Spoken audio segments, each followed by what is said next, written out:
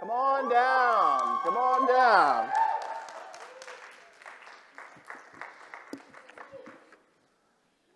Okay, it has been good to get to know these guys. Uh, we've been studying the Bible for a little bit. Uh, actually, Reggie and I have been studying with Tim, uh, Ariel, and uh, uh, June have been studying with Deb. And I want to give these to you guys. Uh, they have decided to join our church. I want to give you a hug, especially Tim. By the way, this guy loves it when you give him big hugs like this, just so you know. All right, you guys can sit down. Give them a hand. Uh, we're really glad you guys have decided to join our church. Um, we study the Bible with everybody. Uh, Tim and Deb actually came over from another church, uh, but we, uh, we've enjoyed getting to know them through uh, those Bible studies. The reason we study the Bible with everybody uh, is it gives us a chance to build relationships and friendships with people. It also helps us meet people's needs because all of us come from different backgrounds. We've got uh, different hurts, we've got different stories, we've got different things we've learned over the years, and so it kind of helps us all get on the same page here. Um, and we're just really excited to have, uh, have you guys and your family with us here. Uh, we're continuing our series here uh, entitled Less is More, which you might see some banners on the stage up here.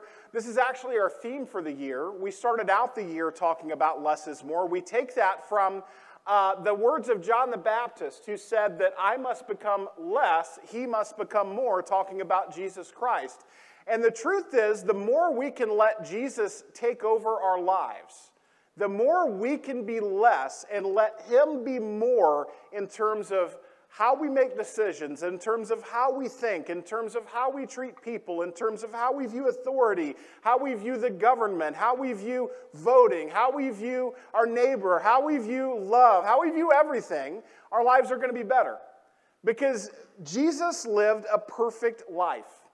And when I say Jesus lived a perfect life, I mean you cannot one up him. There's not one thing we could go back and, and switch roles with him and do better than what he did. And if we will learn as human beings to be like him, he is the prototype for what it is to be a, a, godly man, to be a godly woman, to be a godly father, a godly husband, a godly friend. And if we can be like him, we are going to have the best lives that we can have. Now, that doesn't mean a life without hardship, because what happened in his life? Did Jesus face hardship in his life? Absolutely, he did. But he shows us, even as one who faced great hardship, how to do that faithfully, how to be a godly person in the midst of rough situations. And you might notice a theme. Some of us in here might feel pretty insignificant this morning. Okay? Uh, you might notice a theme, though, if you look in the Bible. God takes seemingly insignificant people throughout the scripture and does some amazing things with them. In fact, it's the people who think that they're a big deal, or maybe a lot of times who the world thinks is a big deal. They, are kind of a footnote in the story of the Bible. Sometimes they're, you know, you're just kind of forgotten. It's these people that are seemingly insignificant that are these giant heroes of the faith. One of the things that's common between all of them, though, I, I said heroes of the faith. Well, that word faith, that is what is common between all of these people that are significant in the scripture. What is common between them is they all put their faith in God. They put their faith in Jesus Christ, they put their faith in God. Some of you in here, when I say the word faith, you you, think, oh, they belief, right? It's the same, same concept. Mental assent uh, is where a lot of our minds go when we think about faith. We think about mentally believing that God is there, mentally believing that Jesus uh, died on the cross for my sins. That is part of it, okay? In, in the word faith in the Bible, faith means four things. It does mean belief, it means mentally believing that God is there, but it also means, in the original language and in the original thought, uh, loyalty, it means trust, and it means obedience. Those four things taken together are biblical faith belief, trust, loyalty, and obedience. If you remove any one of those elements, you cease to have biblical faith. So just know that as we're going into this and we're talking about faith this morning. Uh, in Corinth is a church, if you, if you want to look up a church that's really messed up in the Bible, like in the, in the New Testament, Corinth is a church that was really messed up. They had a lot of bad problems in Corinth. Uh, you've got some notes in your bulletin. If you want to pull those out, it's going to have some scriptures on there that we're going to look at. The first one is actually part of Paul's letter to this church in Corinth. It's 2 Corinthians 1. Uh, Paul writes, We felt like we'd been sent to death row, that it was all over for us. As it turned out, it was the best thing that could have happened. Instead of trusting in our own strength or wits to get out of it, we were forced to trust God totally. Not a bad idea since He's the God who raises the dead. Now, he's writing to some people saying, There was a period of my life, there was a situation that I was dealing with, there, was, there were some circumstances I was dealing with that just looked hopeless. And, and, and it caused me to hit rock bottom. It caused me to, to, to, to just look in the face of this and, like, how is this going to get worked out? He says, but that was actually a good thing because what did it cause him to do? It caused him to put his faith in God. And, guys, some of you in here may be facing something bad this morning. You may be facing a situation that looks hopeless. And if it's not today, guys, it will be. You're going to face a situation at some point in your life that just looks hopeless. It looks like you can't overcome this problem. I don't know if it's a problem in your marriage. I don't know if it's a problem with one of your kids. I don't know if it's a problem with your health. I don't know if it's a struggle with addiction. I don't know what it might be. But at some point, if it's not today, you're going to face it. And the thing is, when you hit rock bottom, when you're facing a situation that looks hopeless, it can actually be a good thing because that hopeless situation can make you throw up your hands and say, I don't have the strength, I'm not enough. Only God can help me with this. And what Paul is saying right here is, hey, that's a good place to be. Amen? How many of you have been there? I know I have. I know I have. And God works through that as long as we choose to put our faith in Him. In fact, in 1 John, it says this is how you get victory in life. It says every child of God is able to defeat the world. And we win the victory over the world by means of what? Faith. We win the victory over the world by means of faith. That's belief, that's trust, that's loyalty, and that's obedience to God. That's how you get victory in life. And the thing is, that's a choice. And that's what we're going to see in this lesson over and over. This is a choice. Whether we put our faith in Him or put our faith in ourselves, it's a choice. And I want to start us off getting our heads right this morning because one of the greatest acts that, that we can look at and say, there's a reason that I should put my faith in God is what Jesus did for us on the cross.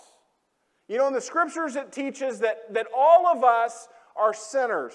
And when I say sinner, I don't just mean this generic, oh, I'm a sinner. No, no. When the Bible says you're a sinner, you guys realize what that means, right? It means you're cut off from God. It means your only destiny is destruction. It means when you die, there's no paradise for you or me as long as I'm in my sin, right? I'm, I'm cut off from God. I'm cut off from the source of good. I'm cut off from the source of light. I have no, no hope if I'm a sinner, right?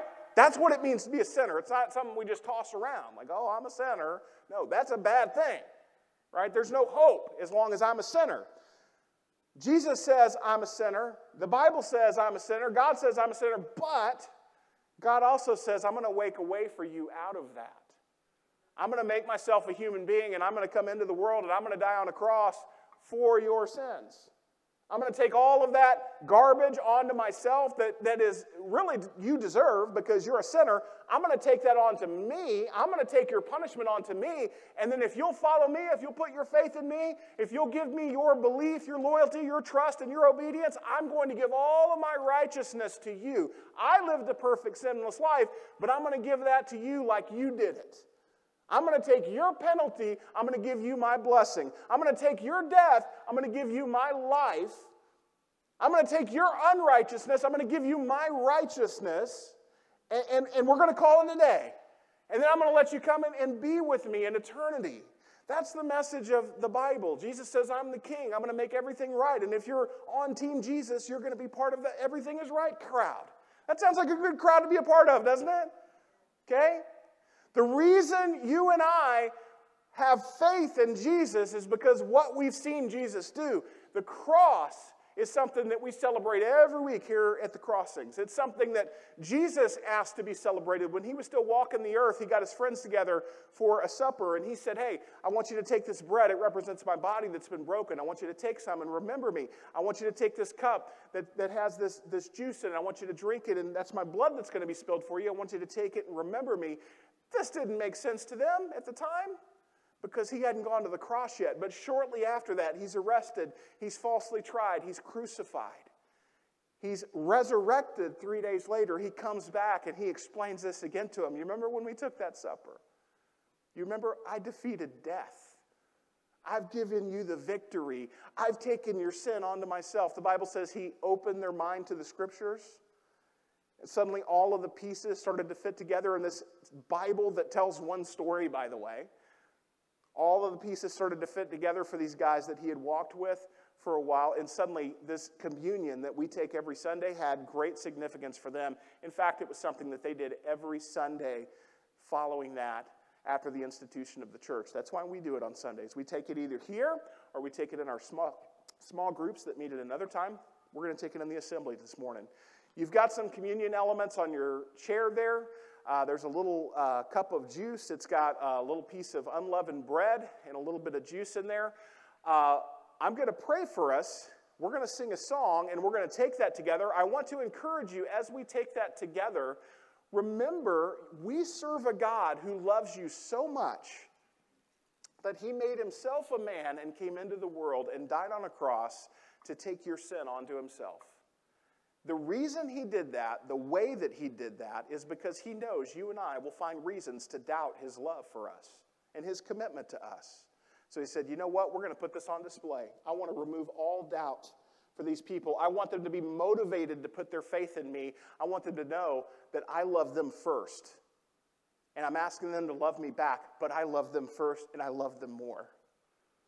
And that's the message of the cross, guys. Let's pray and remember that this morning as we move into the rest of our lesson. God, uh, thank you for the cross. Thank you for the message of the cross. Thank you for the love that motivates you to be on the cross. I pray as we remember the cross this morning, God, we'll remember it is all about your love for us, your love for me. And it's in your name we pray. Amen. Oh, I've heard a thousand stories of what they think you're like, but I've heard the tender whisper of love in the dead of night, and you tell me that you're pleased and that I'm never alone. You're a good, good father. It's who you are. It's who you are. It's who you are, and I'm loved by you. It's who I am. It's who I am. It's who I am, and I've seen many searching for answers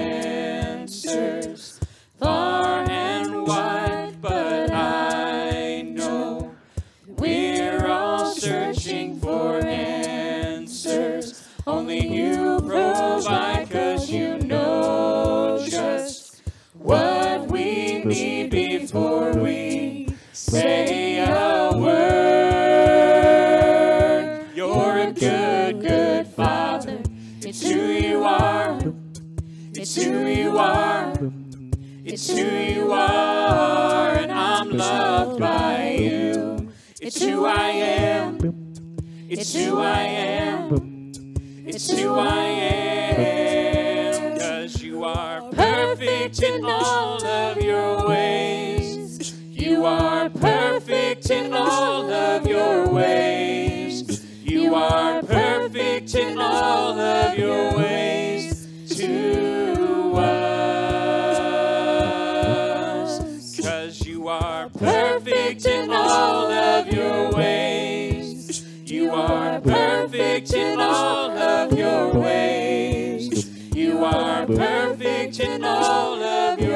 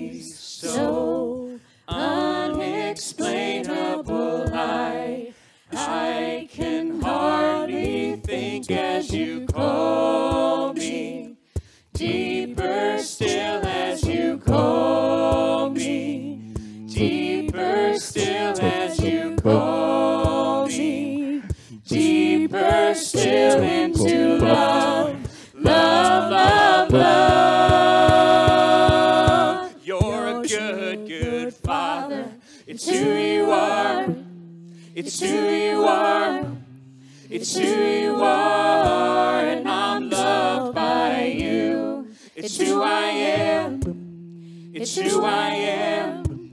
It's who I am. You're a good, good father. It's who you are. It's who you are. Perfect It's who you are, and I'm loved by you. It's who I am. It's who I am.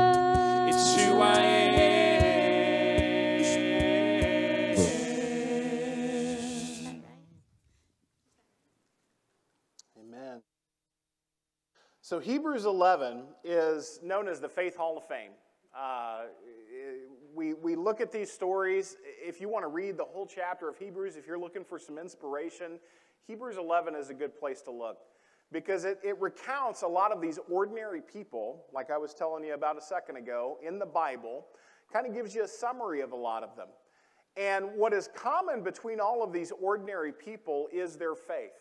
They put their faith in God, and so their lives were significant. They made an impact, um, but it was because they chose to put their faith in God. It says in Hebrews 11, verse 32, What more shall I say?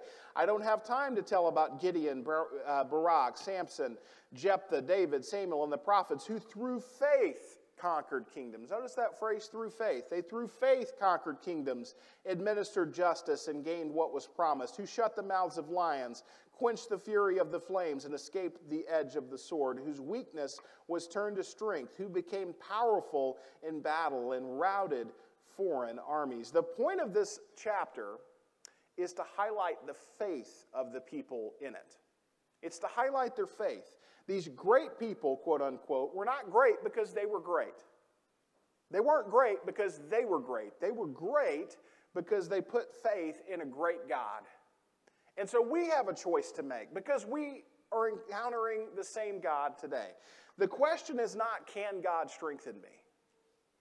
The question is not, can God strengthen me? The question is, will I allow Him to strengthen me? It's a choice. That's really what it comes down to. We must put our faith in God and not in ourselves. And when we put our faith in God,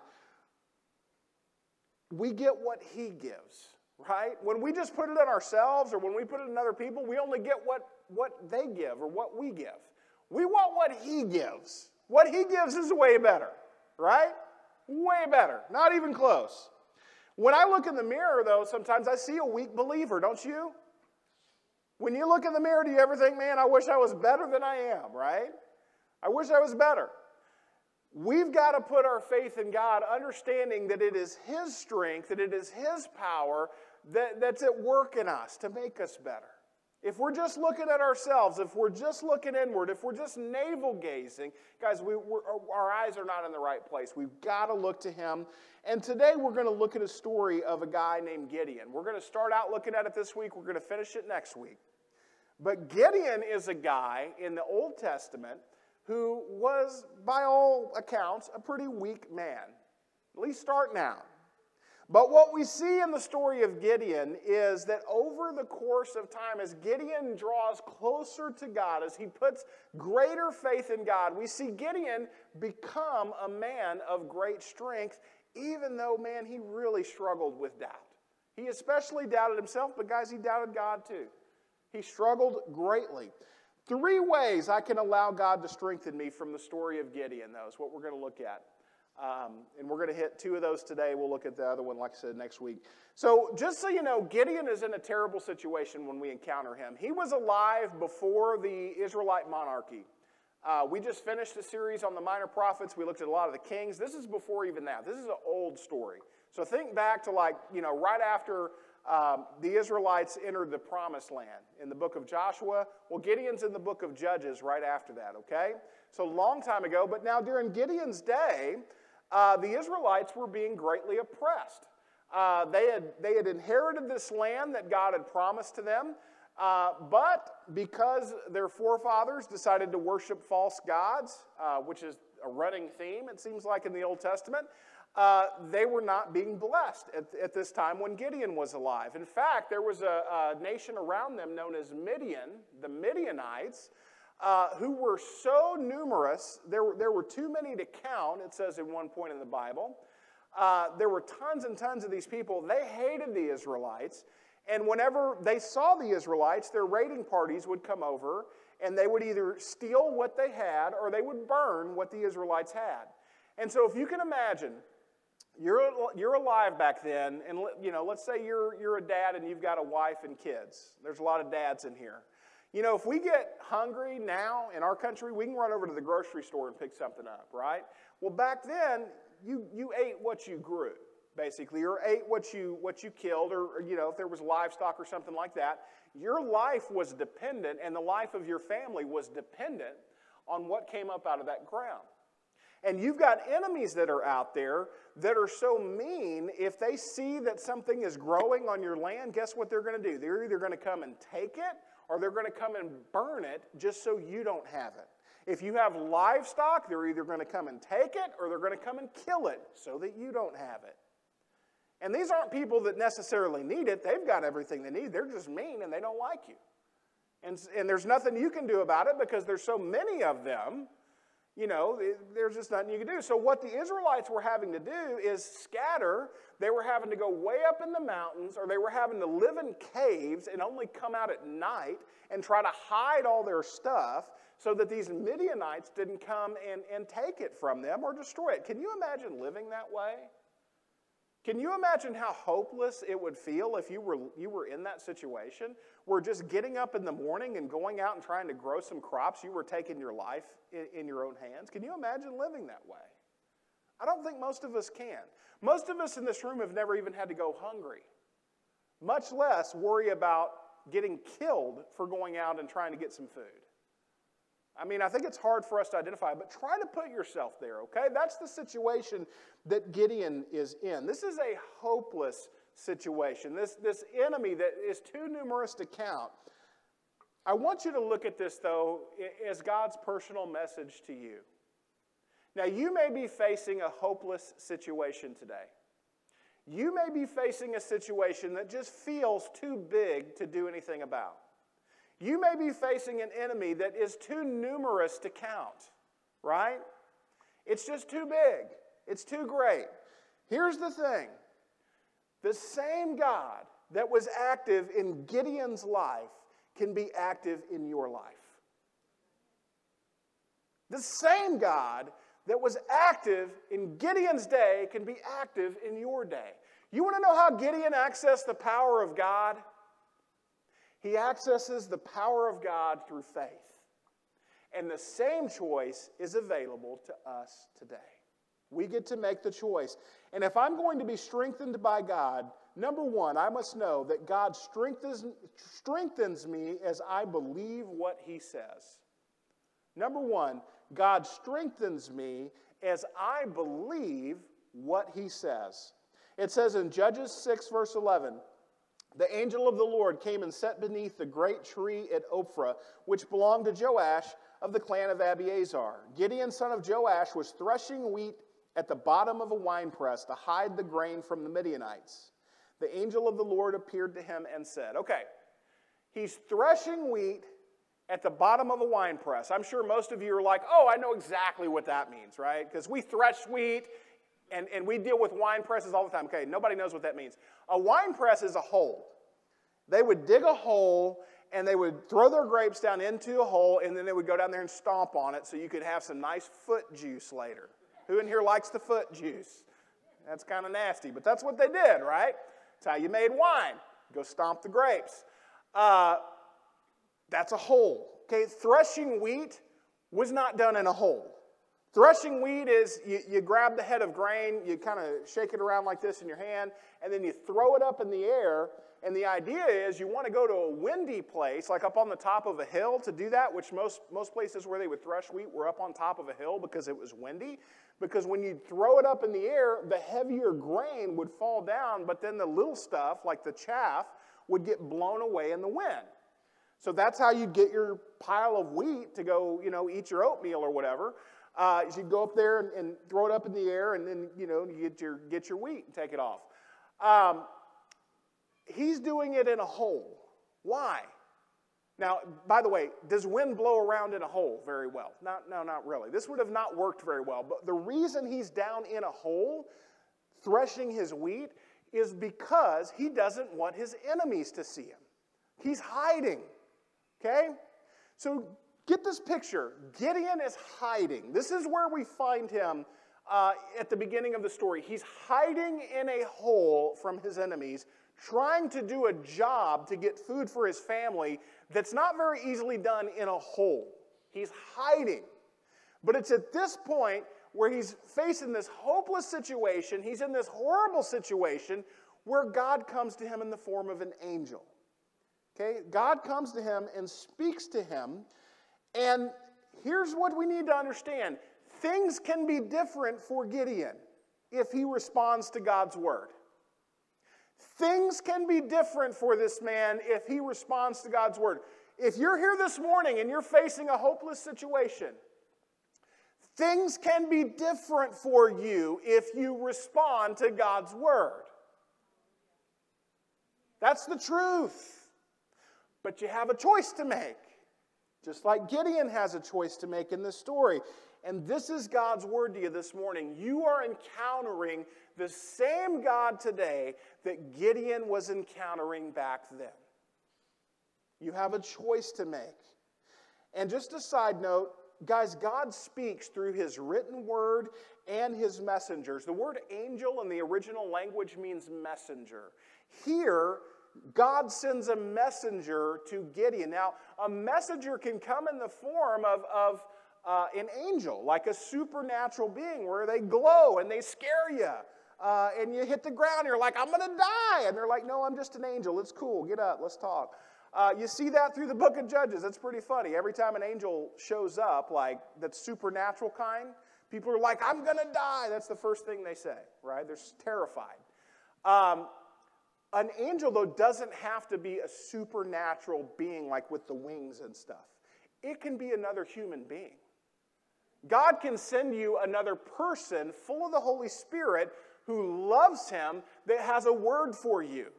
You know, maybe that friend that really loves God, you know, and they come into your life and, and, they, and they're trying to counsel you through something. It could be that God sent them to you to say what they're saying to you. But here's the thing it is not from God if whatever they're saying to you contradicts God's written word. And that's the thing, you got to take those back to God's word. There are people out there, sometimes even well meaning people, who will come and give you a message that they think is from God. Guys, if it contradicts God's word, that is not a word from the Lord.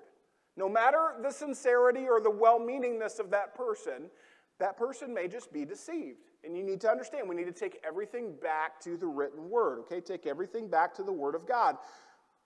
But we need to respond to God's word. Now, there are three areas where it can be really hard to respond to God's word. The first one is when it comes to God's word, I must believe God's affirmation. I believe God's affirmation. Affirmation means encouragement or positive word. Okay? This means I believe what God says about me. And this is a tough one. Okay? But here's what God says about Gideon in verse 12. When the angel of the Lord appeared to Gideon, he said, The Lord is with you, mighty warrior. Where is Gideon? He's in a hole. Okay? He doesn't want to fight, right? Two things are hard to believe here. Number one, God is with me. God is with me. Do you know the situation that we're in right now, God? Do you know we're surrounded by the Midianites? That they're too numerous to count? That our people all have to live in caves and hide and can't even grow food? You're with me? Really? God is with me? And then he says, God is with you, mighty warrior. What? No, I, I think you got the wrong guy. That's not me. I think you're looking for the other guy. He, he's not here. I'm in a hole. I'm hiding. I don't want to fight. There's nothing about me that's mighty. There's nothing about me that's warrior, right? There's nothing in my family line that's warrior unless you go way back, right? We're not, that's not us. That's what, here's the thing God sees the person He created you to be, not necessarily the person that you are. And that's one of the things we talk about a lot here at the crossings, guys, is there is a person that God created you to be. There are things that God created you to do, and God loves you just the way that you are, but He loves you too much to leave you the way that you are. And what we're going to see him do is he's going to do a work in Gideon's life, even though Gideon is kicking and screaming for him not to, right? Sometimes. But you got to believe what God says about you. You guys, you got to believe God says you are priceless. God says you are loved. God says you are significant. God says He's got plans for you and He wants to use you to bless other people. That's what God says about you. But man, how often can we struggle to believe that? You know, I know when I was younger, especially, guys, I was so afraid of people knowing who I was, like the real me. I come from a background where I was pretty severely abused.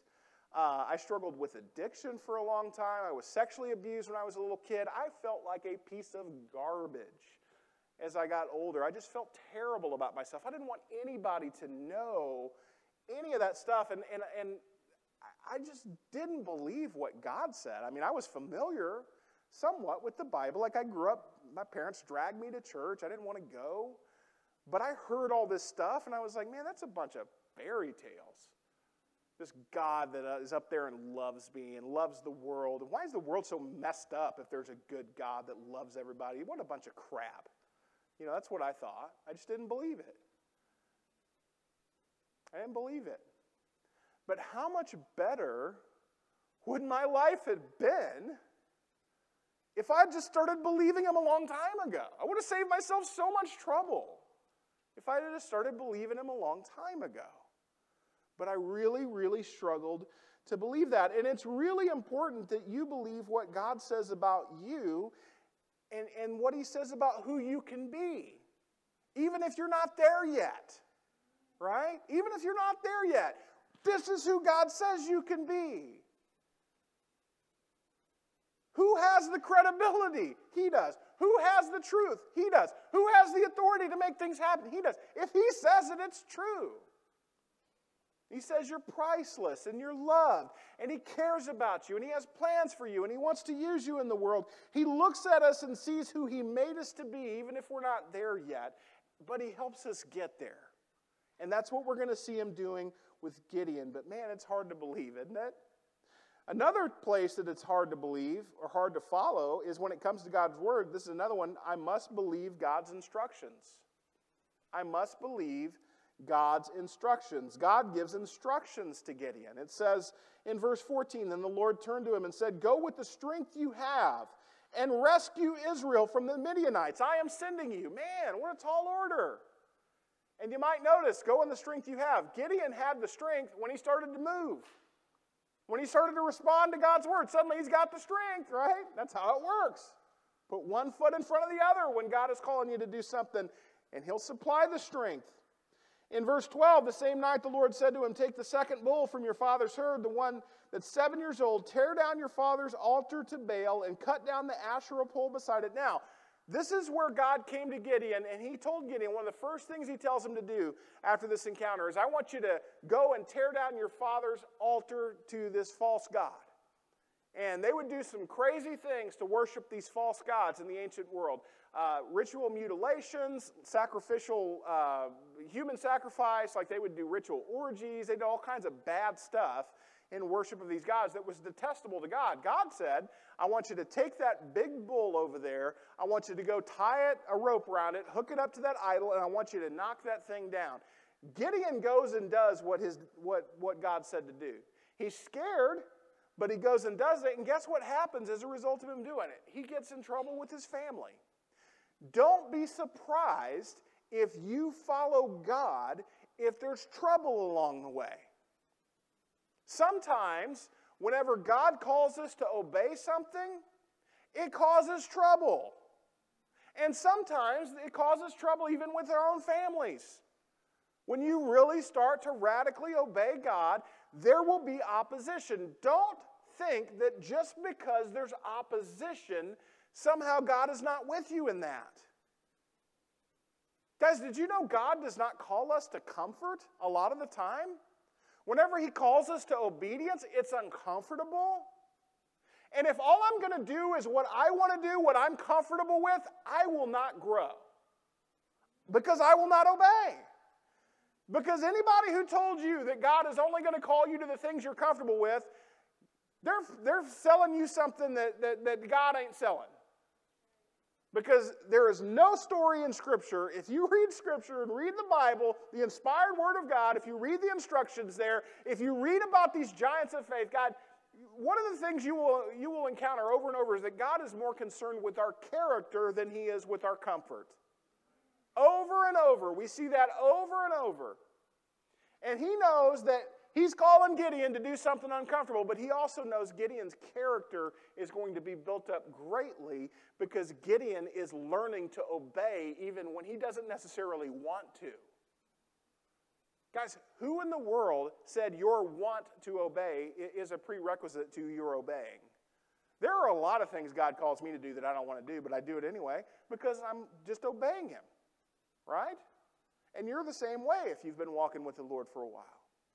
It's not about our comfort, though. And facing difficulty as a result of obedience doesn't mean God isn't present. In fact, it means just the opposite a lot of the times. Thirdly, when it comes to God's word, I believe God's promises. I must believe God's promises. God promises Gideon, look at this, I am with you and I will be with you. In verse 16, I'm sending you, I will be with you.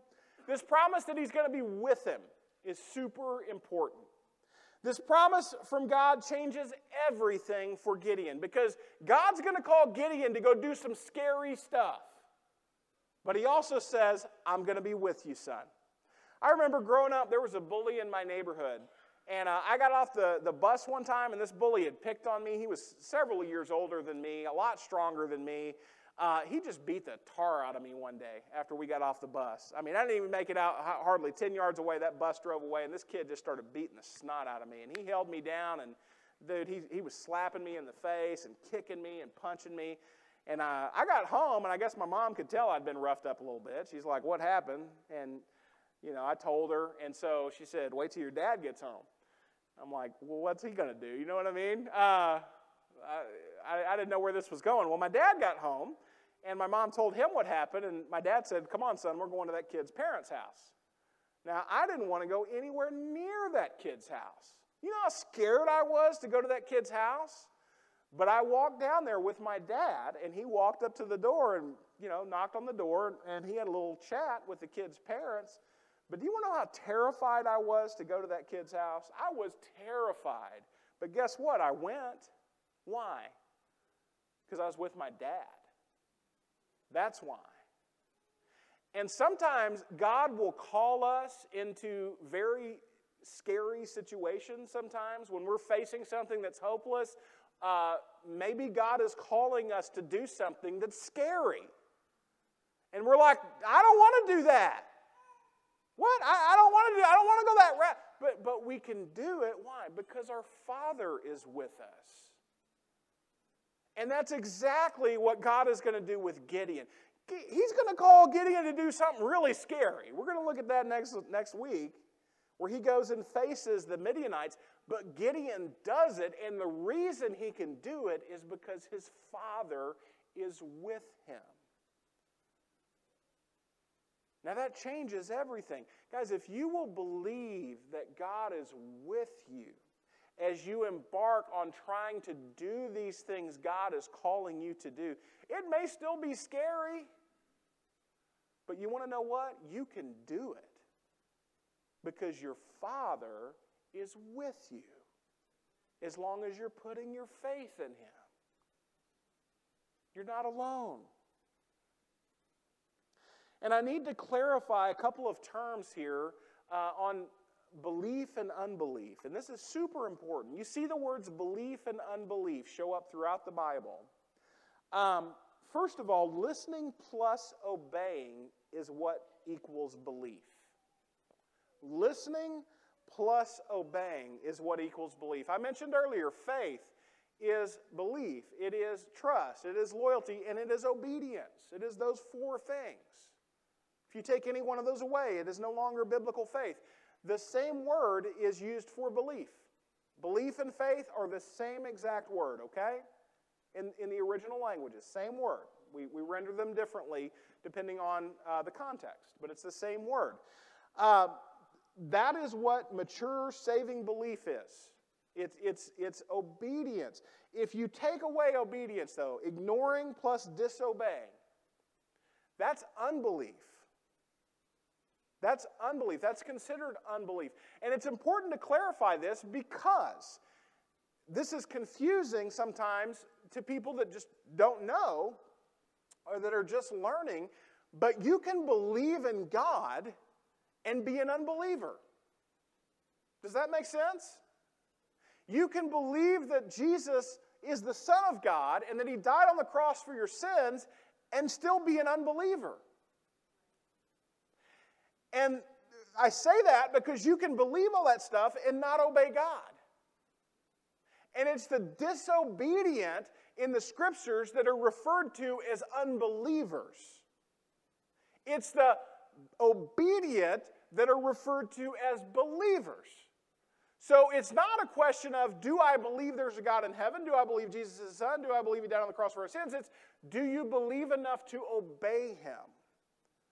That's faith. The other is not faith. That's belief, biblical saving belief. The other is considered unbelief. We even see people who believed mentally in God referred to as unbelievers in the Bible. It says in Judges 6 uh, many Israelites had never had victory because they never had this biblical faith, right? We, we said at the beginning faith equals victory, right? Well, here's what God says to Gideon about some of his ancestors. He said, I snatched you from the power of Egypt and from the hand of all your oppressors. I drove them from before you and gave you their land. I said to you, I am the Lord your God. Do not worship the gods of the Amorites in whose land you live, but you have not listened to me. Notice there, underline, you have not listened to me. There. Look at uh, the way it says in the uh, English Standard Version I said to you, I am the Lord your God. You shall not fear the gods of the Amorites in whose land you dwell, but you have not obeyed my voice. Same phrase in the original language, it's rendered a little bit differently. One says, You didn't listen to me, the other says, You didn't obey me. Same principle. Okay, you don't listen to God, you don't obey God. This doesn't mean they didn't hear him. This doesn't mean they didn't know, it just means they didn't obey. You don't listen, you don't obey. The Hebrew writer refers back to people like this. In Hebrews 3, it says, Scripture says, if you hear God speak today, don't be stubborn. Don't be stubborn like those who rebelled. Who heard God and rebelled? Well, all whom Moses led out of the Egypt rebelled. With whom was God angry for 40 years?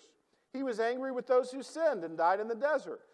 Who did God swear would never enter his place of rest? He was talking about those who didn't obey him.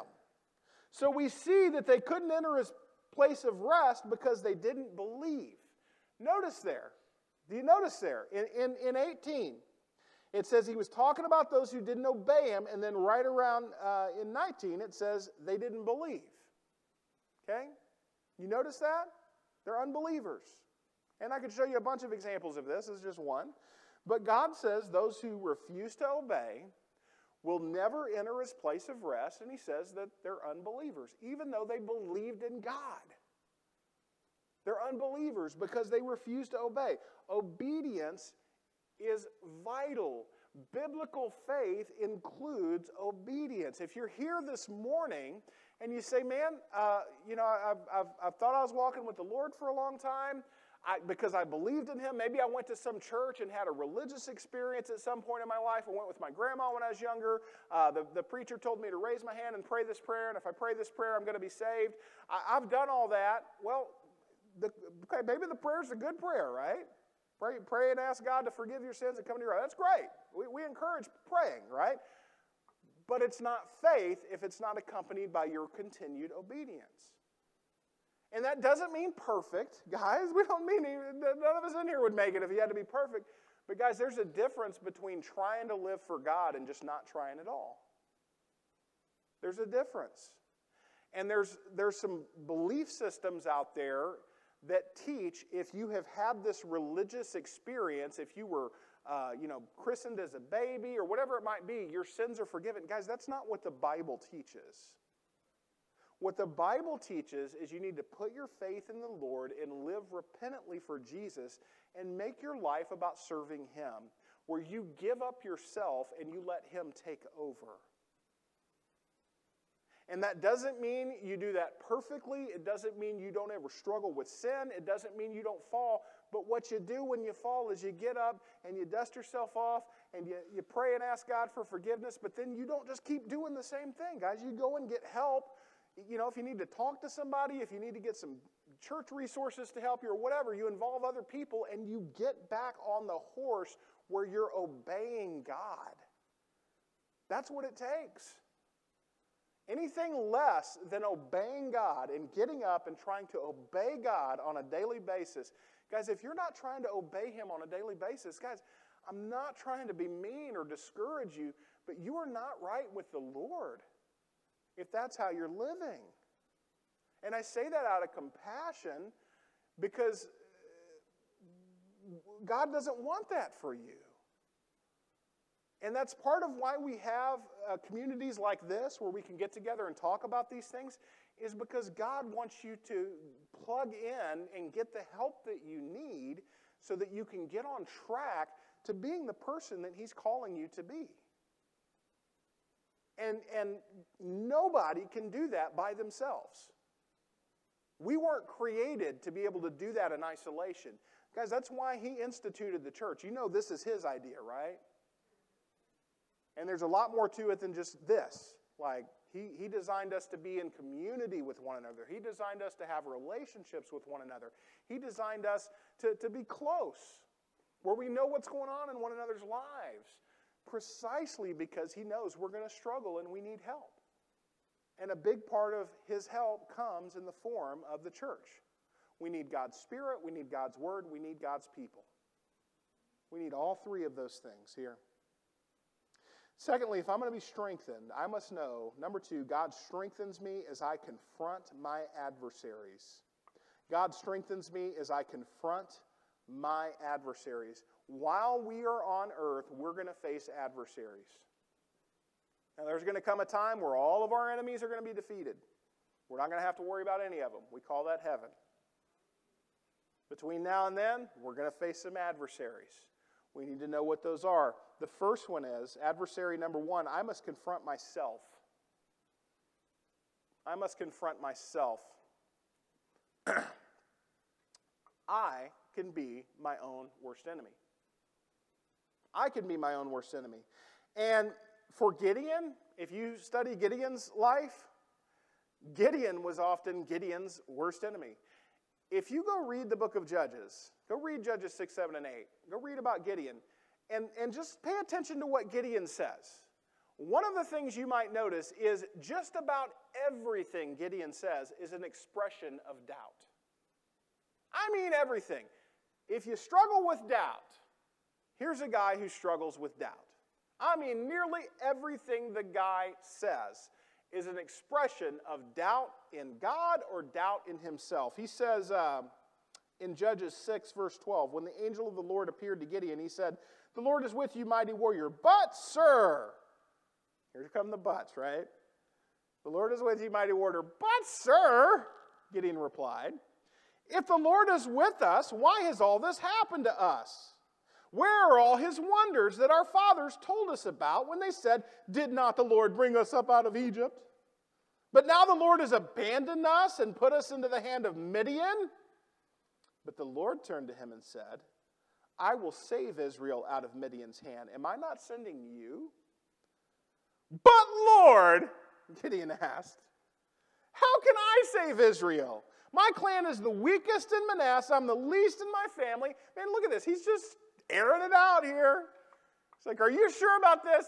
You abandoned us. You abandoned, you're not with us. Me? Not me. Can't be me. Man, I know so many people that struggle with doubt.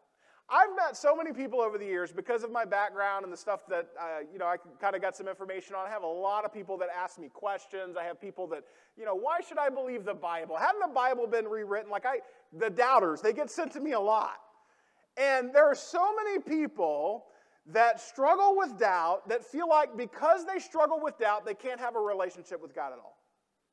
And so they just put the brakes on and they're like, ah, this obviously isn't for me. I'm going to go do something else. I'm not going to give this any attention anymore. Let me tell you something. The litmus test for a relationship with God is not whether you doubt or not. The litmus test for a relationship with God is whether you obey or not.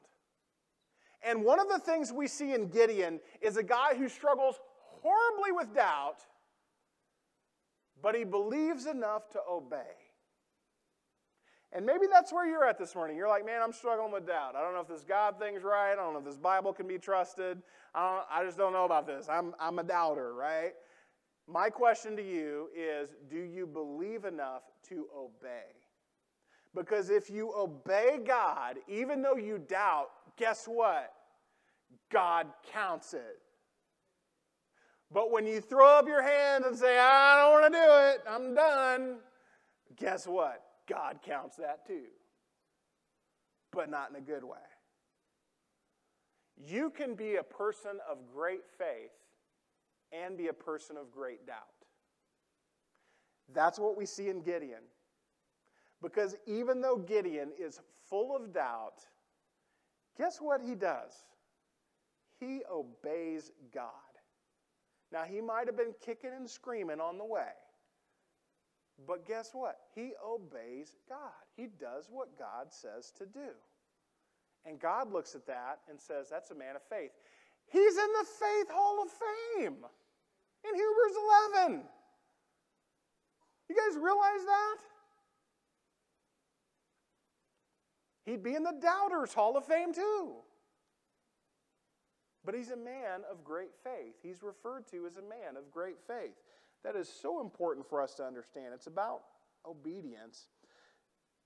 And God's really patient with him too, because in uh, verse 36 it says, Then Gideon said to God, If you're truly going to use me to rescue Israel as you promised, prove it to me in this way. Here he's going to ask for the fleece thing, right? He says, I'll put a wool fleece on the threshing floor tonight. If the fleece is wet with dew in the morning, but the ground is dry, then I will know that you're going to help me rescue Israel as you promised. Okay, he's a doubter. An angel appeared to him and spoke to him and said, Here's what's going to happen. He's like, Ah, I need a little more proof. I'm sorry.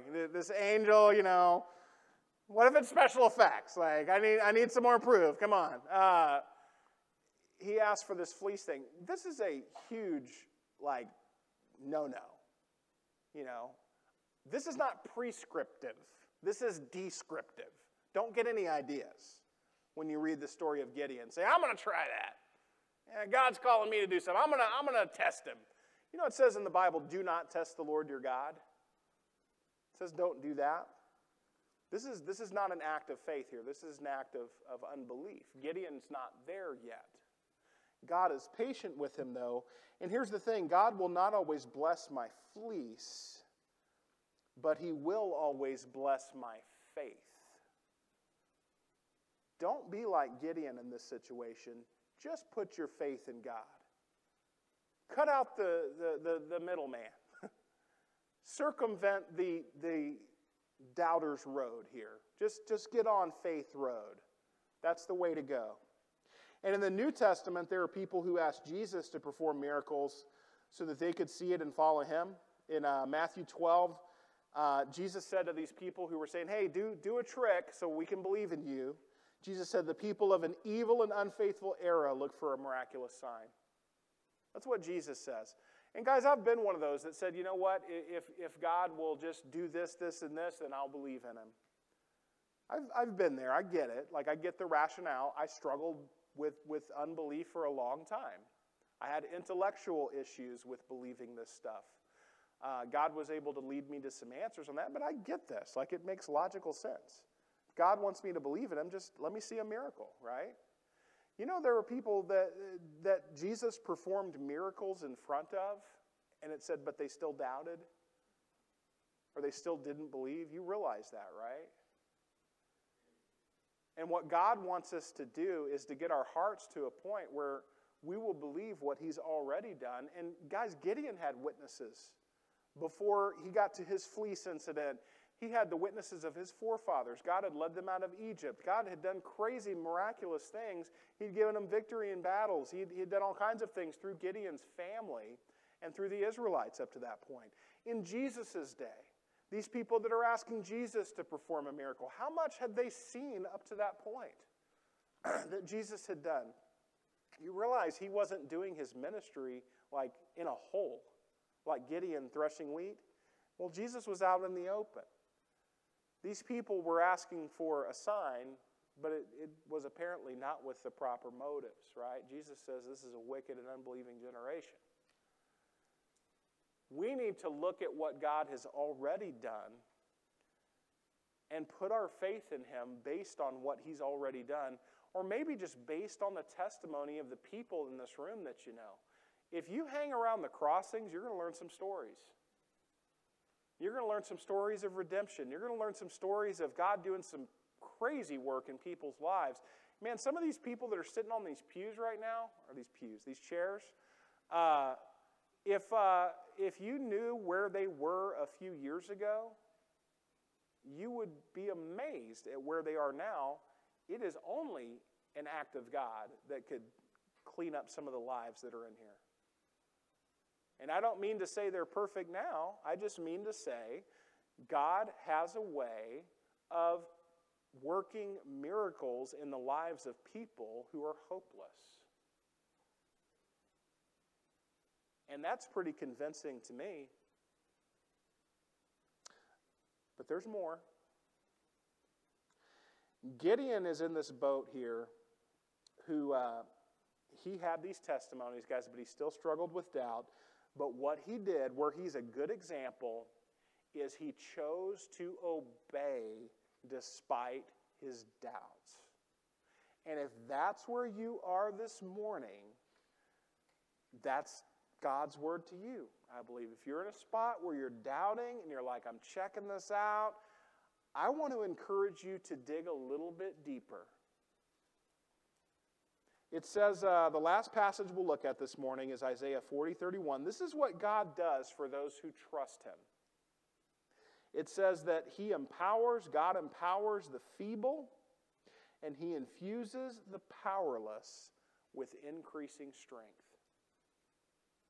Now, this is talking about somebody who has put their faith in the Lord. He empowers the feeble, and He infuses the powerless with strength. If you're feeling feeble, if you're feeling powerless this morning, guess what? God is here. He is here for you. He will give you strength. He will give you guidance. He will give you everything that you need to face what life is throwing at you today. But it's up to your choice whether you're going to choose to put your faith in Him or not. And you can listen to that inner voice that talks down to you, that is self demeaning and self depreciating. You can believe those messages from the world that say you're worthless, you don't have anything good going for you, and you never will. You could maybe listen to those, those voices in your life, those toxic people that are always running you down, not building you up. Or you can listen to the voice of the Lord that says you are powerful, that you are poised to make a positive impact, that you can get through this, And not only can you get through this, you can thrive on the other side of it. You can be a person who helps others. You can be a person who makes the world a better place.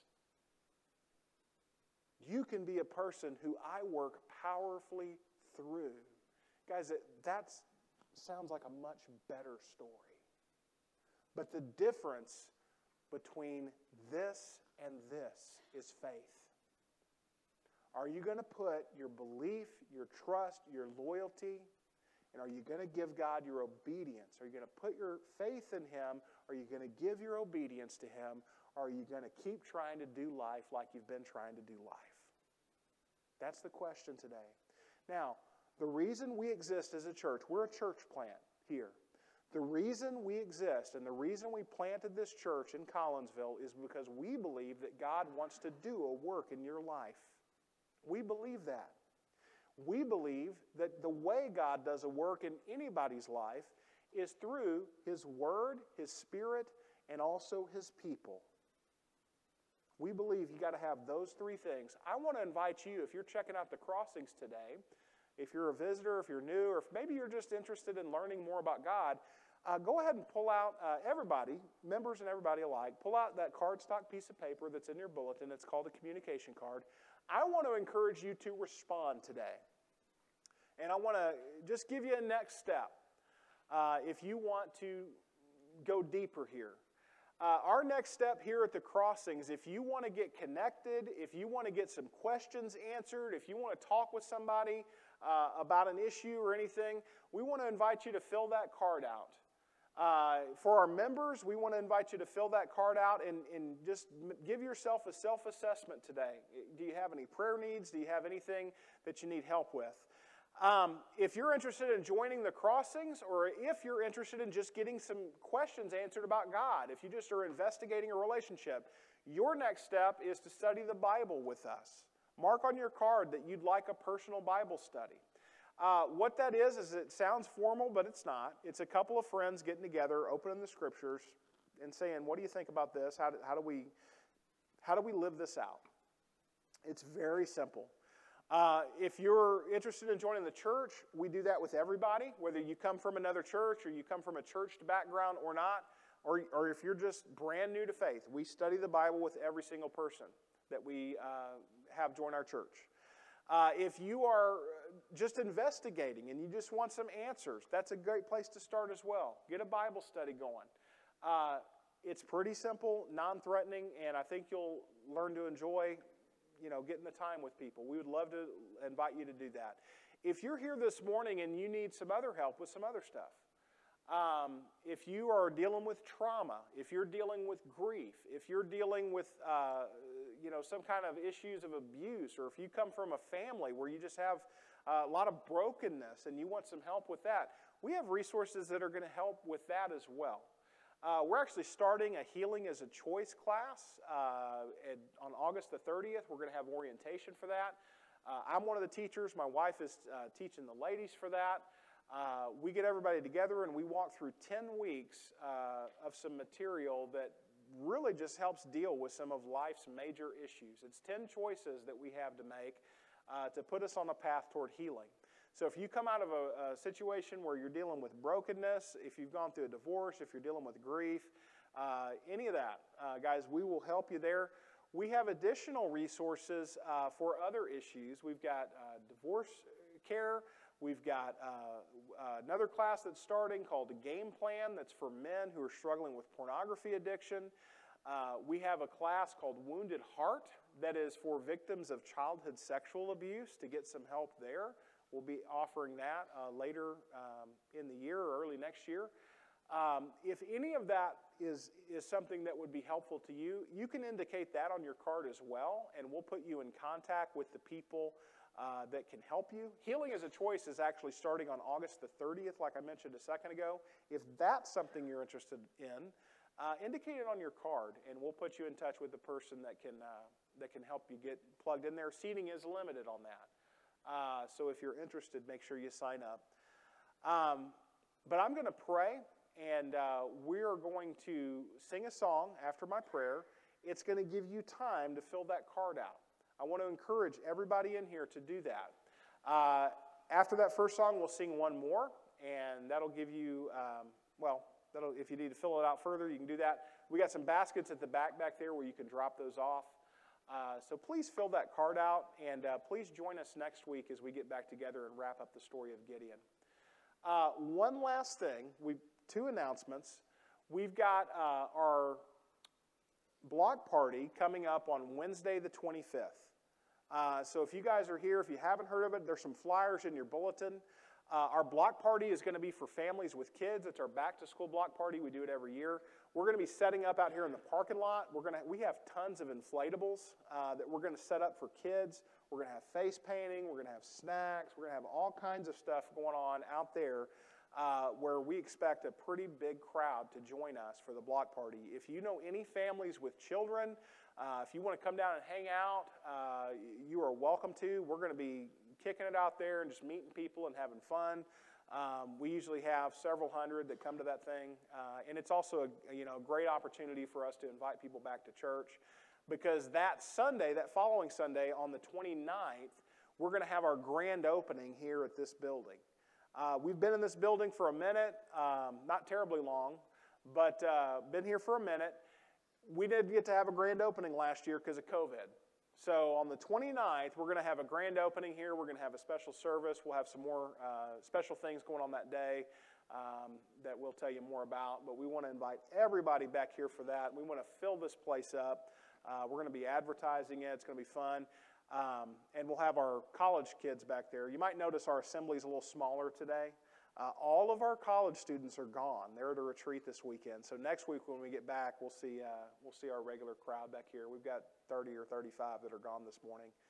Um, but anyway, let me pray for us, and, uh, and then we will wrap up for the day. Lord, thank you for uh, today. Thank you for the story of Gideon. Thank you for giving us a doubter to look at as uh, not someone who was a great example in his doubts, but God, a great example of one who obeyed despite his doubts. I pray we can be obedient and faithful followers of you. God, I believe in my heart you want us to have good lives. You want us to have lives that are filled with joy. Uh, God, I know we're going to have to face hardship, but I also know you want to equip us to be able to deal with it when it comes. Lord, help us to be uh, present for one another Help us to be people of faith, and it's in your name I pray. Amen.